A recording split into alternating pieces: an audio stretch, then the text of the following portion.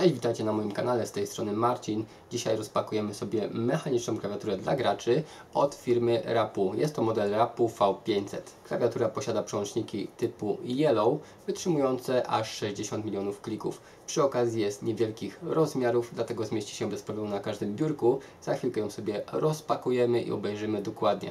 Zapraszam do oglądania.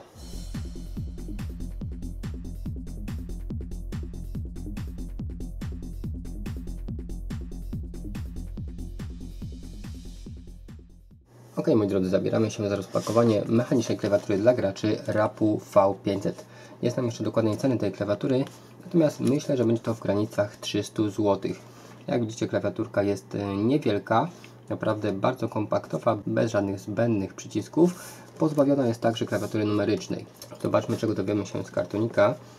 Mamy informację, iż są tutaj przełączniki mechaniczne, są programowalne oraz mamy wbudowaną pamięć klawiatury. Na górze zawartość opakowania i wymagania systemowe.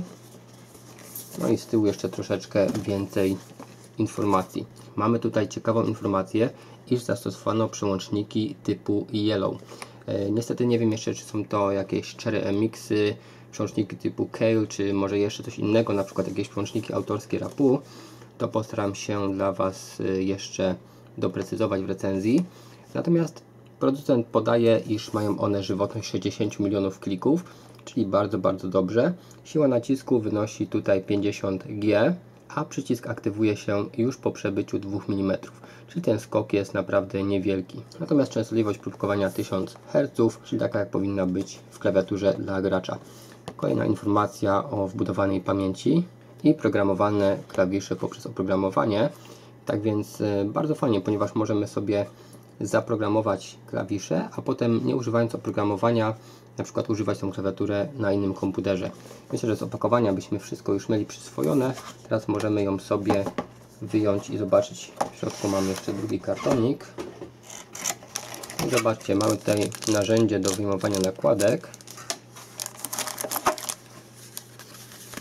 Zasobnik z instrukcją i być może też sterownikami. Proszę bardzo, jest i płyta i instrukcja.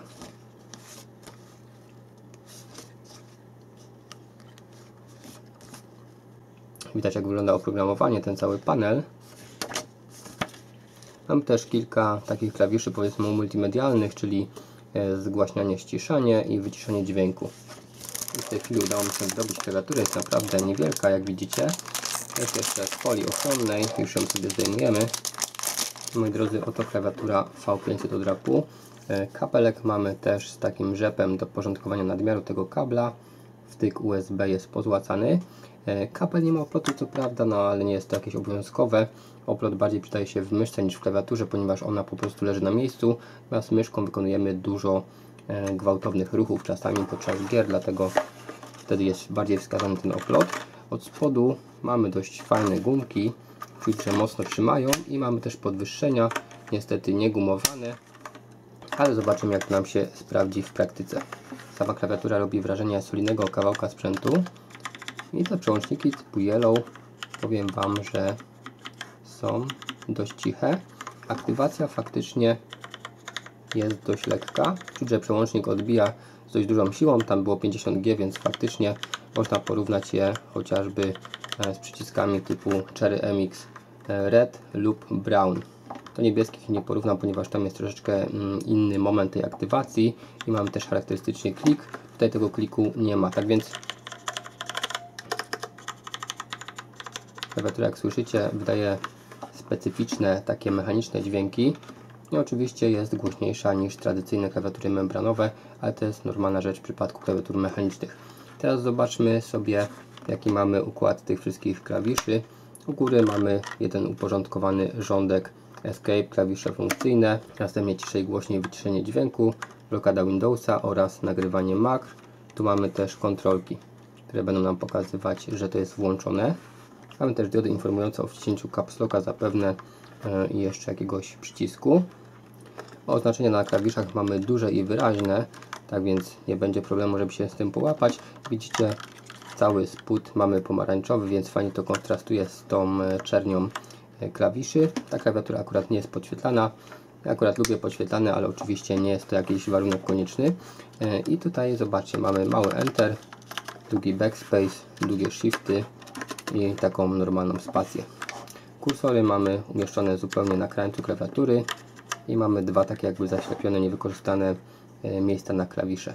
Jak już powiedziałem na wstępie, nie mam tutaj klawiatury numerycznej, e, po prostu ta klawiatura musiałaby być sporo większa, a zapewne producentowi chodziło o to, żeby była jak najbardziej kompaktowa i zajmowała na biurku jak najmniej miejsca. Przy okazji jak na mechaniczną nie jest też aż taka ciężka.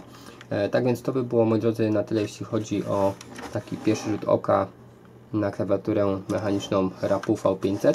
Teraz ją będę testował i za jakiś czas dowiecie się jak ta klawiatura sprawdziła się podczas użytkowania jej w grach i takiego normalnego codziennego pisania. Dziękuję Wam dzisiaj za obejrzenie tego rozpakowania i pozdrawiam Was, cześć!